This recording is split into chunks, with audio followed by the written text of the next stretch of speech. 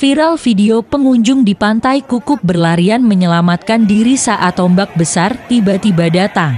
Gelombang tinggi menerjang kawasan pantai selatan Gunung Kidul, Minggu 15 5 2022. Pada momen libur panjang pekan ini, wisatawan tampak memadati sejumlah wisata pantai di Gunung Kidul, termasuk di Pantai Kukup dan Pantai Drini, Gunung Kidul, Yogyakarta. Dalam video yang beredar di media sosial, terlihat ratusan pengunjung memadati pantai kukup berlarian saat ombak besar tiba-tiba datang. Video yang dibagikan akun Instagram Medupdate di sini pada Minggu 15/5/2022 memperlihatkan kondisi pantai kukup, Gunung Kidul saat long weekend. Terlihat ratusan wisatawan duduk-duduk santai di tepi pantai. Ada juga yang bermain air. Tiba-tiba, ombak besar datang.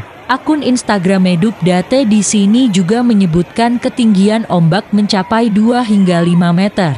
Wisatawan yang bermain air di bibir pantai tampak berlarian menyelamatkan diri. Dari jauh, pria yang merekam video tersebut berteriak supaya wisatawan minggir. Saat ini gelombang tinggi melanda perairan Laut Selatan Jawa. Sejak unggah Minggu 15/5/2022, video tersebut telah ditonton ribuan kali tayangan dan disukai lebih dari 700 pengguna Instagram. Gelombang tinggi juga terlihat di sejumlah pantai di Gunung Kidul, termasuk Pantai Kukup dan Pantai Drini.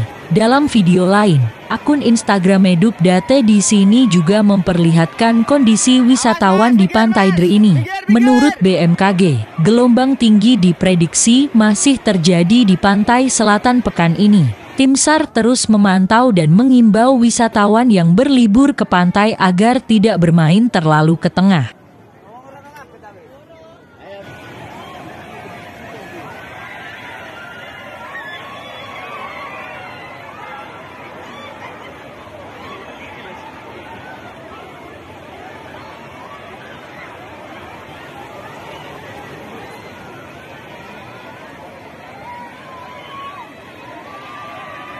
Awas mas, minggir mas, minggir, minggir.